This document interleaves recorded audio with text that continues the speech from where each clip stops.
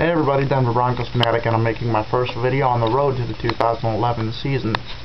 Here today I want to talk about Broncos quarterback Brady Quinn. I honestly don't think Brady's gotten enough time to shine in the NFL because he first started out with the Cleveland Browns, and no offense to Cleveland Browns fans, but they are not the greatest team in the world.